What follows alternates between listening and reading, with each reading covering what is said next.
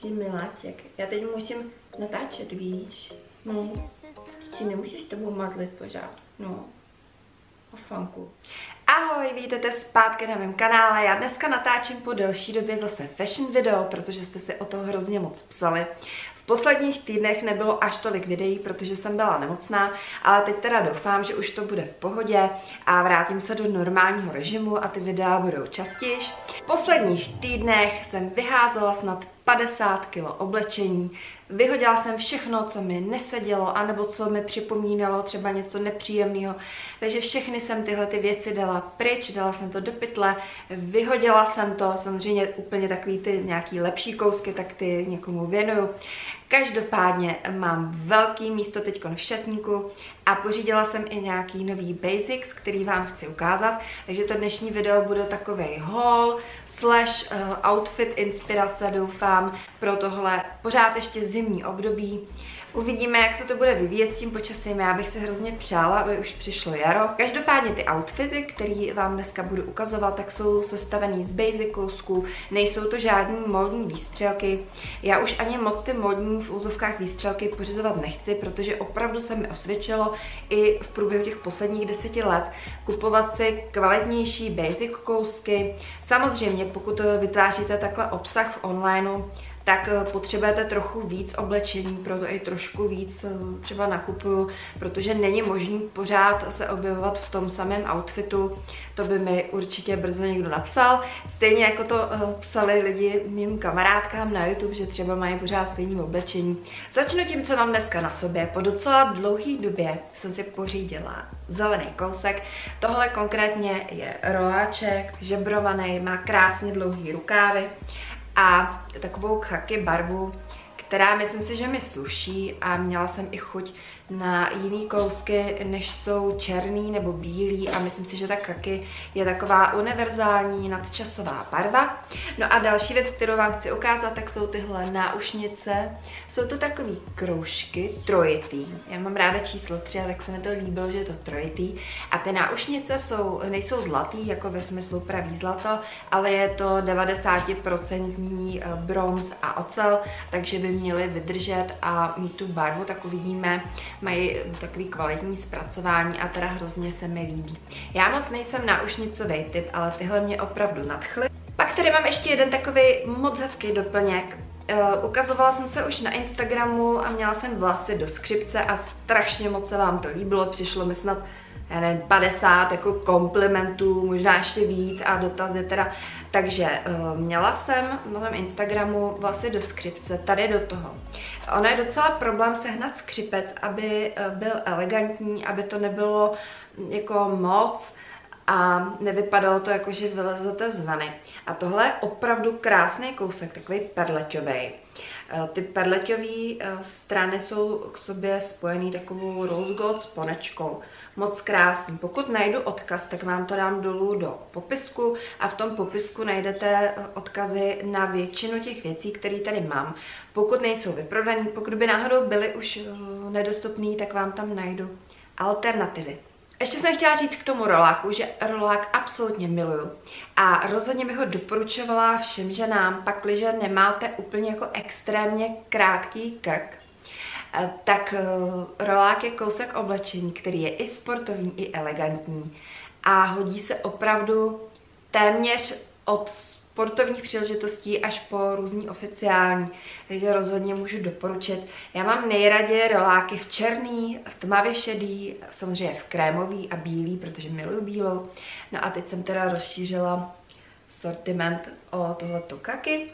Další, co jsem si pořídila, tak jsou kozačky. Jsou to kožený, vysoký, černý kozačky, protože jak víte, já kozaček mám fakt hodně. Ale vlastně neměla jsem kozačky, které by byly z koženého materiálu, kvalitní a které by neměly eh, vysoký podpatek. No a já jsem strašně dlouhou dobu koukala na Zutu na tyto kozačky Vagabond, protože víte, že já u, to, u těch eh, bot mám docela uh, jako velký požadavky, uh, hrozně mi záleží na tom, jak je tvarovaná špička, aby byla ideálně jako špičatá, ale ne tak jako přehnaně. Zkrátka tyhle boty se mi strašně líbily, protože opravdu mají přenádherně zpracované špičky, jsou takový subtilní, dělá to krásnou štíhlonkou nohu a i ten podpatek eh, je trošičku zvýšený, nepatrně, myslím, že má tak 2 cm. No a úplně miluju eh, po stranách tenhle ten detail, kde vlastně eh, tam všitý černý pruh látky, takový jako lampas, nebo jak to nazvat. No a jsou to kozačky nazy. Opravdu vypadají úplně nádherně. Myslím, že je to trošku nezvyklý u mě na kanále vidět černý eh, kousky oblečení, že spíš eh, volím bílý, béžový, hnědý a podobně. No ale mám tady jednu kabelku, která je černá překvapivě a to je tato krásná kabelka od značky Pinko. Zase vám vložím odkaz, odkud ji mám. No a tato kabelka je v uvozovkách malá nebo menší pro mě. Měla jsem ji třeba i eh, v divadle, takže určitě je vhodná pro slavnostnější příležitosti. Pochopitelně není to kabelka večerní nebo plesová, to, to tak nemyslím, ale moc se mi to líbí, protože většinou já sebou nosím buď to foťák nebo kameru. Samozřejmě mobil, no a tak dále, znáte to. A moc se mi líbí, že ta kabelka má tři přihrádky uvnitř na zapínání. Jako velmi pěkně zorganizovaná, ještě jsou tady další přihrádky dodateční a tady mám vstupenky do toho divadla. Louskáček 8.12. tak to je síla, vlastně už ji mám teda tři měsíce třeba. No, každopádně, já eh, totiž schovávám v tom posledním období vstupenky, protože hodně chodíme do kina, tak eh, se mi to líbí. Každopádně ta kabelka je absolutně, absolutně nádherná, kožená, pochopitelně Pinko je dražší značka, ale věřím, že u těch kabelek eh, je to dobrá investice, protože pak vydrží třeba 10 let ta kabelka nebo další dobu mě jako extrémně dlouho věci vydrží, fakt jako i oblečení. No a je teda na zlatém eh, řetízku takovým silným, nebo spíš řetězu možná, a nahoře má eh, kožený pruh, což je mnohem pohodlnější, když to potom nosíte na rameni. Mám za to, že se prodává i v mnoha eh, jiných barvách. Docela mám cuky pořídit si ještě třeba v béžový nebo v nějaký světlý barvě teďko na jaro a na léto. Pokud jste viděli moje předchozí fashion videa, tak víte, že já naprosto miluju sukně a šaty. Myslím si, že je to absolutně jako úchvatný ženský prvek v šatníku. A teď docela trpím v tom zimním období, že nemůžu jako ty sukně tak moc nosit, šaty vlastně už vůbec ne, úplně minimálně. No ale právě když jsme byli v tom divadle, tak jsem se inspirovala, protože jsem tam viděla jednu maminku a měla úplně nádherný outfit krásný, takže jsem si říkala, že si pořídím něco podobného. Ona v tom divadle vlastně měla takový uh, tenonký černý roláček, takový jako slavnostnější a k tomu měla dlouhou černou plisovanou sukni a vypadalo to úplně nádherně, vlastně měla do takového jako drdulku a úplně jsem si říkala, wow, ta ženská má styl. No a fakt mě to tak inspirovalo, že jsem si pořídila dlouhou černou plisovanou sukni, ale z takového materiálu, který právě se dá nosit úplně v pohodě i v zimě, protože je to, řekla bych, soten, ale zároveň eh, takový eh, silnější. Ne teda úplně teplej, jako není to úplně těžký materiál, ale rozhodně když si vezmete eh, teplý punčucháče, kozačky, tak si myslím, že je to úplně v pohodě. Eh, zase vám to ukážu tady v nějakém outfitu. Ta sukně je od značky Dorothy Perkins a je to přesně ten materiál, který ale unosíte i v létě, prostě celý rok. Takže myslím si, že je to opravdu jako fakt dobrá investice a basic kousek, který by určitě eh, oživil šatník každé ženy. Mám tady ještě jeden černý kousek a Těch černých kousků nebude moc, protože já jsem upřímně trošku unáná z té černé barvy. Ale chtěla jsem si pořídit právě takový jako tenčí roláček nebo tričko, který by bylo aspoň trošku na, na krk. No a objevila jsem jedno krásný od značky Noisy May. A proč vám ho ukazuju, že teda krásně vypadá k té sukni a hlavně má u krku takový stojáček, ne moc vysoký a ten materiál je velmi kvalitní. Protože sama vím, že sehnat kvalitní basic kousky, který i po vyprání vypadají pěkně, nebývá úplně lehký. Tak eh, vám tady to tričko ukazuju, protože je to opravdu takový basic kousek v pravém slova smyslu. No možná to vezmu podle barvy, ještě vám ukážu poslední basic kousek a to jsou černý kalhoty koženkovou, řekněme, úpravou, s takovým povrchem, který vypadá trochu jako koženka.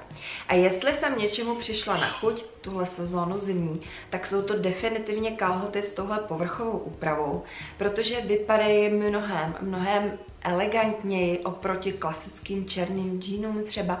Dává to takový punc elegance a šmrncu, samozřejmě za předpokladu, že eh, to střihově sedne typu vaší postavy a ten materiál nesmí vypadat moc jako latex nebo vinyl, nebo jak se tomu říká, prostě nesmí to vypadat cheap.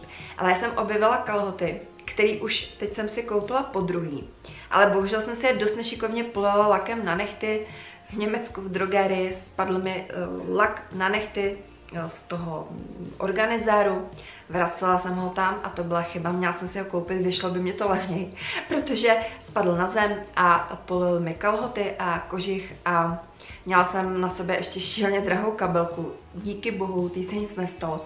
Ale prostě mám tady dvoje stejné kalhoty, které vám chci ukázat, jsou úplně boží a je to tahle značka Villa kterou už jsem ukazovala taky v předchozích videích a ty kalhoty jsou naprosto boží.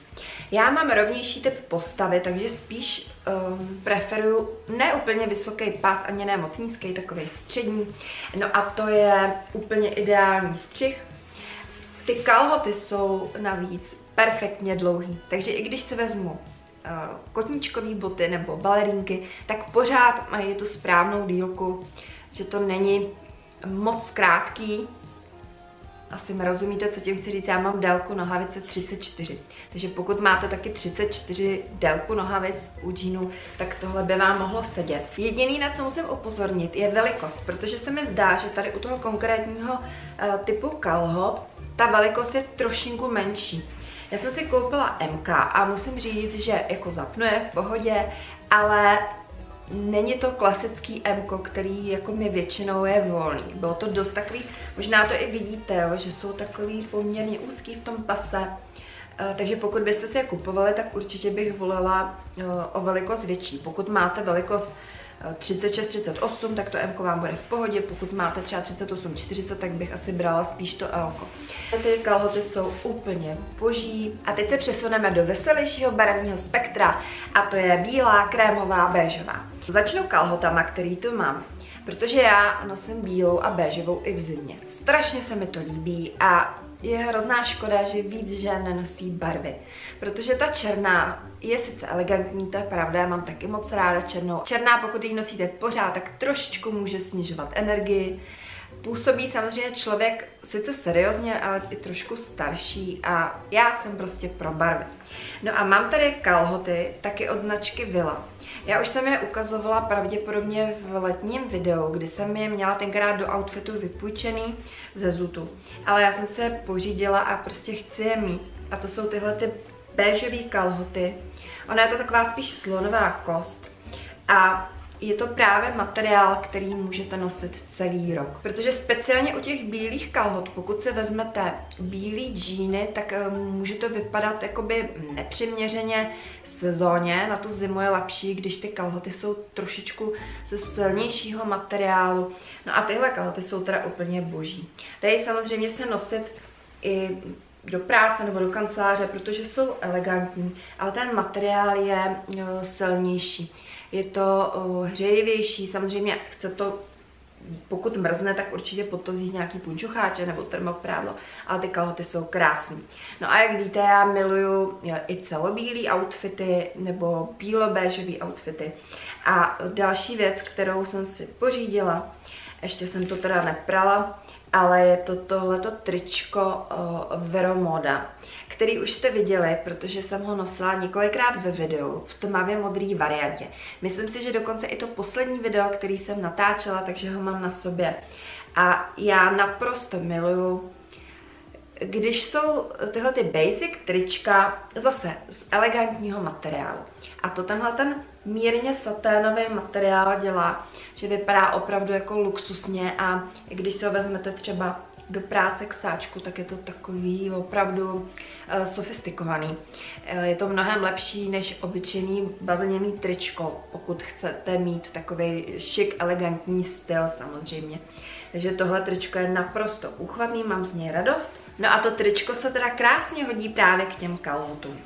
No a pokud nevíte, co přesto v zimě, tak uh, můžete to zkombinovat zase s bílým nebo krémovým svetříkem.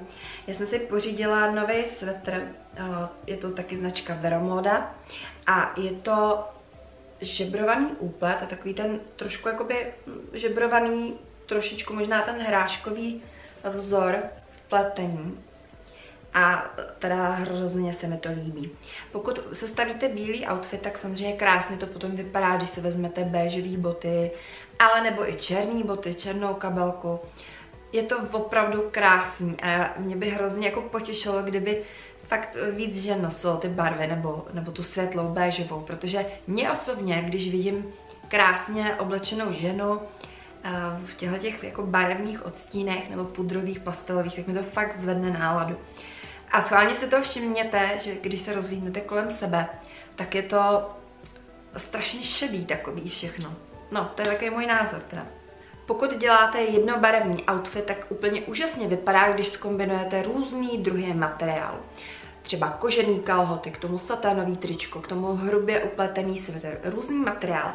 A právě já jsem si k tomu světlému outfitu pořídila, protože už mi dosloužil jeden takový ten umělej kožich, tak jsem si koupila tento uh, béžový, je to taková zlomená bílá slonová kost a vypadá úplně krásně a teda oceňuji, že to má dlouhý rukávy. No a já tenhle ten kabátek mám z obchodu, kde většinou nenakupuju moc a to je Berška, protože se mi zdá, že tam nejsou úplně jako kvalitní věci, nebo není to úplně můj styl, ale tenhle kabát byl úplně boží a má fakt krásně dlouhý rukávy, s čímž mám problém u většiny oblečení, že jsou mi krátké rukávy, protože jsem vysoká a jsou mi krátké nohavice, takže uh, tenhle kabát se povedl v délkou rukávu minimálně a teda nádherně hřeje.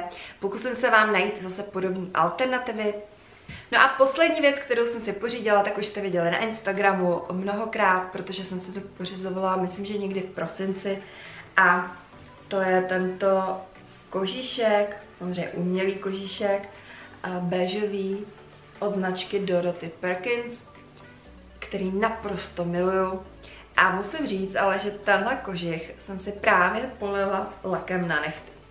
Naštěstí to byla barva laku, která je hodně podobná e, tomu, tomu kožichu, ono to ani není vidět. A ten jsem teda málem jako obrčela, jo, tenhle ten kožich, protože já mám strašně, strašně ráda má i takovou podobnou barvu jako Lola, ne sranda, takže fakt jako ho miluju, je úplně hebonkej a nevím, jestli ještě je k dostání, dám vám zase odkaz, ale každopádně vám chci říct, co mi pomohlo z toho ten lak na nechty dostat. To vás asi překvapí. Čítala jsem s tím, že ten kabát budu muset vyhodit a takže jsem si říkala, čím bych to tak vyčistila nějakým jako driákem. Dala jsem na to čistič na koberce, proti uh, zvířecím znečištěním. No a normálně ten lak, co se tady absolutně nechápu, jak je to možný, ale ten lak se z toho skoro úplně vypral. Takže tyhle čističe na koberce, pokud by se vám stala nějaká nehoda podobná, tak docela jako dobře fungují. Měla jsem teda štěstí, že ten lak nebyl tak barevně odlišný, No a právě tenhle kožíšek je úplně uchvatný a nádherně vypadá jak k černým outfitům, tak uh, k těm světlým právě. Tak to bylo všechno pro dnešní video. Doufám, že se vám líbilo, doufám, že jste našli inspiraci. Napište mi do komentářů, jak často uklízíte šatník, jak často vyhazujete věci, jestli ty věci vyhazujete průběžně nebo třeba jenom jednou za nějaký další období. Hrozně by mě to zajímalo, protože jak jsem říkala v úvodu, vyházela jsem toho strašně moc. Pokud se vám videjko líbilo, budu moc ráda, když dáte like, Určitě nezapomeňte dát odběr a zvoneček, aby vám chodily oznámení o nových videích a sledujte mě na Instagramu. Mějte se krásně a těším se na vás příště. Ahoj!